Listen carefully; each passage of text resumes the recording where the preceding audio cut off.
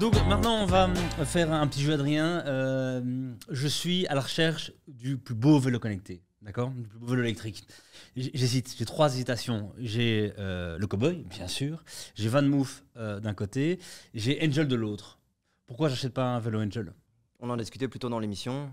Euh, je pense que le choix d'avoir mis un téléphone Android comme écran dans le guidon du vélo Angel euh, va créer une espèce de... Enfin, le- le risque, c'est que ton vélo devienne obsolète, en tout cas sur le niveau de la connectivité, assez rapidement.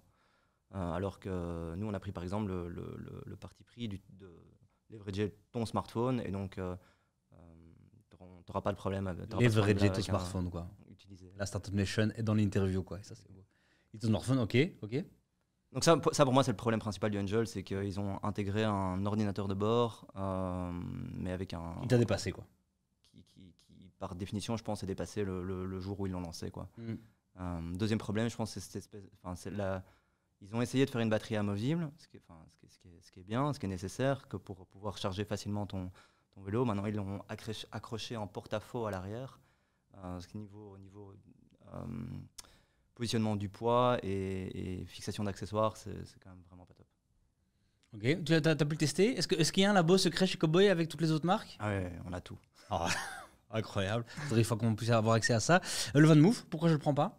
Euh, alors, Van Moof, ils n'ont pas essayé d'avoir une batterie amovible. Donc, euh, je pense que ça, ça peut déjà être un disqualifiant as- assez, rapide. Ça, va convenir seulement aux personnes qui vont pouvoir mettre ce vélo dans un, garage parce que le Van Moof, tu ne peux pas charger ta, batterie, tu dois charger ton vélo. Si tu habites dans un appartement, impossible de le charger sauf si tu le portes dans, ton escalier. Pre- premier point. Deuxième point, sur la, connectivité, il n'y a, pas d'écran du tout. Euh, Enfin, il y a un, écran euh, avec des, LED. Euh, mais donc, l'approche de Cowboy, c'est d'utiliser ton smartphone. L'approche d'Angel, c'est d'avoir mis un smartphone Android. Van Move, c'est ni l'un ni l'autre. Et alors, l'approche du Cowboy, c'est de vraiment simplifier toute l'utilisation du vélo au maximum. Donc, tu n'as pas de bouton, tu n'as pas, de- vitesse.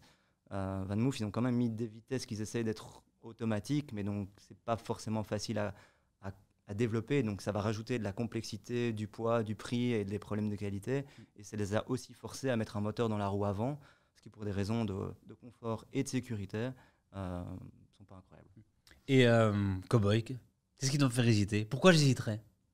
Alors, ça, c'est une très bonne question. Pourquoi tu hésiterais pour un vélo Cowboy aujourd'hui?